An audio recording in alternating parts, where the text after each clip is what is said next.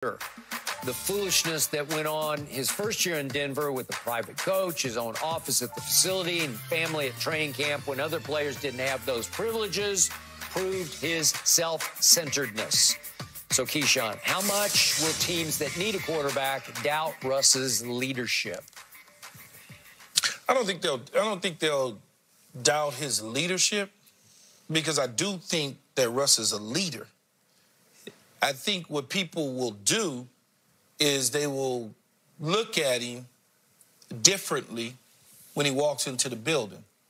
Because if you hadn't played with him, you hadn't coached him, you know, and you don't know anything about him except yeah. everybody's piling on Russ at this present moment. They are.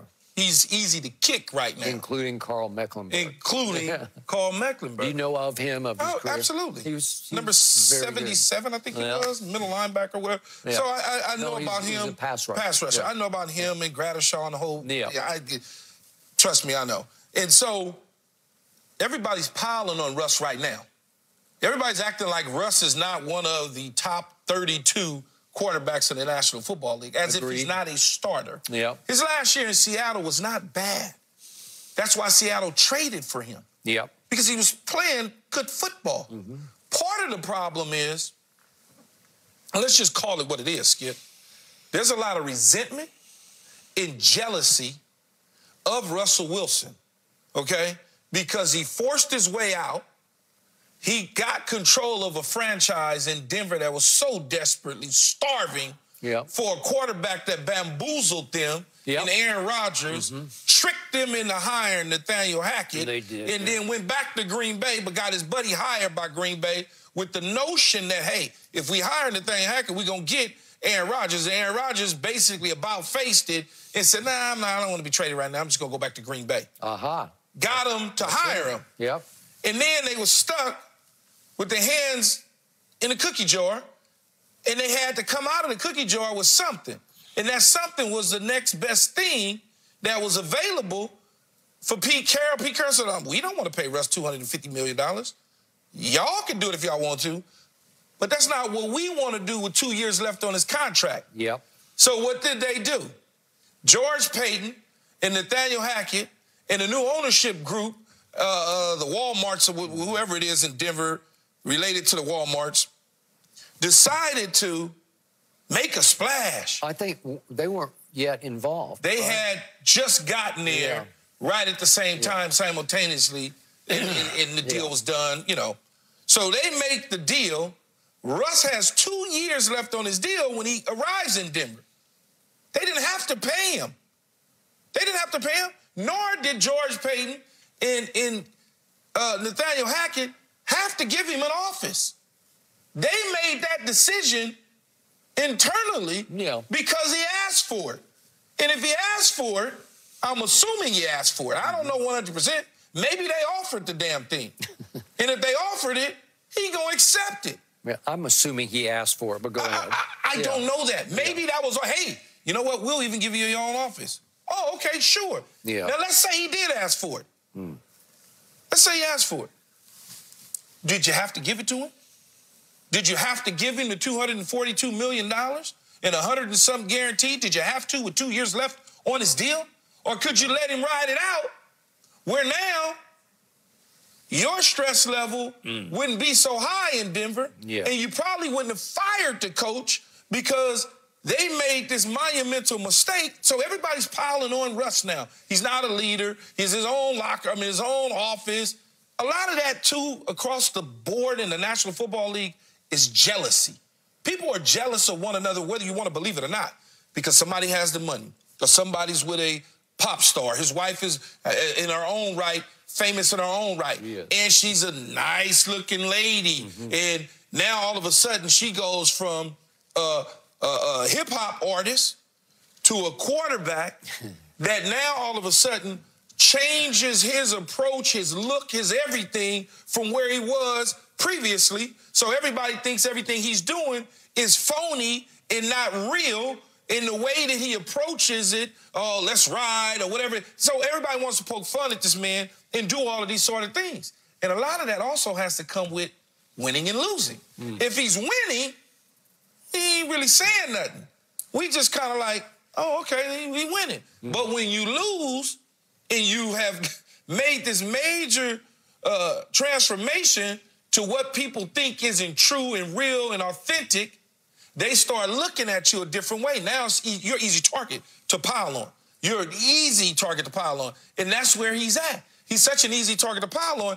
If he goes, I don't know, the Pittsburgh Steelers. I like that. Mike Tomlin's approach is different. Sean Payton didn't do him any favors by coming in and immediately addressing the office situation. He ain't gonna have no office, not up in here. He wouldn't have had an office if Sean Payton was to acquire him to begin with. Mm-mm. That would have never happened because Sean wasn't gonna sign off on it. No. That is George Paton and Nathaniel Hackett that did that. Yep. Sean probably wouldn't have gave him the 240 something million dollars. No. Probably would have made him wait it out. That is on them. They the ones who decided to do this. And then, although he had a decent season last year, they approached him, Skip, and asked him to mess with his contract as they were on their way to a playoff appearance, possibly. Yeah. They were they on did. their way. They, they started messing with this man yeah. Yeah. and dealing with him. So I'm not going to be one that's just going to pile on him and just treat him like that, although he hasn't played as well as he had in Seattle in Denver. Mm. I'm not going to do that. I, I, I can't do that because that would be fake of me to do something like that. And I'm not going to do it. All right. I'm going to let everybody else do that if that's what they choose to do because I'm okay. not jealous of him and his wife. All right. Nor am I. I like where you're heading with this. I like your lean on this one because I am with you enough of the piling on. Do I think he lost a little of his edge and drive when he went to Denver and committed more to his family and to other things off the field than being driven to be the best quarterback? I, I do think there was some of that. But guess what, ladies and gentlemen? I think it just returned because he now got pushed out the back door unceremoniously, and I think it will sting. I think he is ripe to have a very good couple, three years for somebody somewhere else. The right team. Yeah, and I brought up Pittsburgh the other day because Mike Tomlin could deal with this. Mike Tomlin, again, I'm a big fan, but he's not going to coach him the way Sean Payton coached him because he's not. Mike's the defensive side of the ball. You knew him when he was yeah. defensive backs coach. He, he's going to coach him psychologically instead of strategically and technically. Big picture psychologically. He's going to try to put him in a new comfort zone where he can regain what he was in Seattle.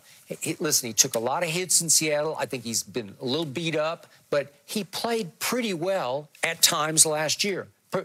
There, the game at Buffalo, he played very well in. Okay, so do I think he still has enough to be a starting quarterback? Yes, I do. Yes, and especially for a needy team like a Pittsburgh Steelers. Gardner Minshew was a starter yeah. in the National Football League. Yeah, still is. You know, still bouncing. Yeah, he's still. Yeah, he'll he'll probably start some games this year for somebody. But I'm talking about not a one A backup quarterback. I'm talking about Russell Wilson can come in and win you get. He would be a great fit in Pittsburgh because their defense is good enough to take them yeah, places. They run the ball. They got some. They got some weapons. The they, got side. some young pieces yes. catching the football. So you put him in there. Okay, here's the problem with Russ.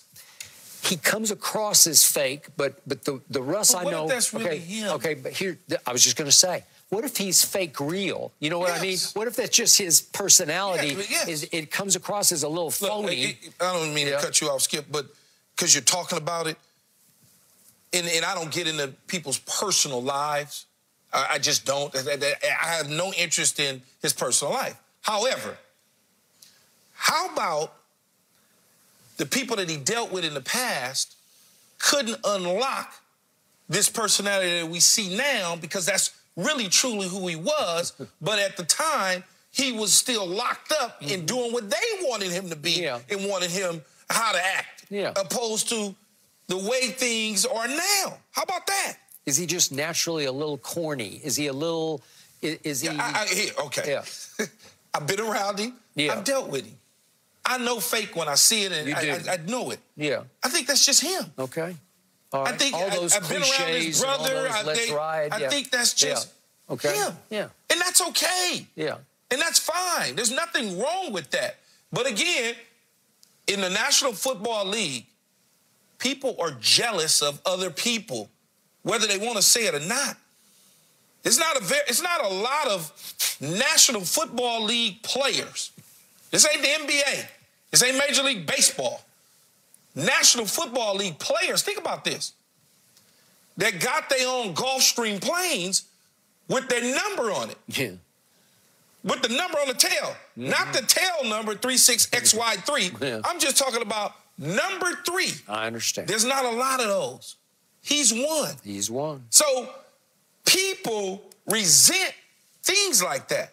If, if in fact, Bill Parcells or, or Tony Dungy or Jon Gruden or John Fox would sign me and they say, hey, I say to them, hey, I want to, you know, I want to get an office in the building. And they say, sure. What am I going to say? Oh, I don't want an office? You think Karl Mecklenburg, if they gave him an office when he played, he was going to say, ah, I don't want an office. My office, I'd invite my, my, my teammates in it and be able to say, come on, man, come in the office. Let's just chill and watch film in here. That's okay if, if that's if, what they wanted to do. If you were allowed to bring your kids to camp and nobody else was, that's wrong. That that's where you I, just say, then I, am not. I, I don't. Do I don't know. Yeah. If that was the case, I don't either. Okay. If the other players didn't ask to bring their families and their kids to camp, and he asked, and they awarded that to him, don't take that up on him. Yeah. Take that up on the organization for for allowing him to do that. Agreed.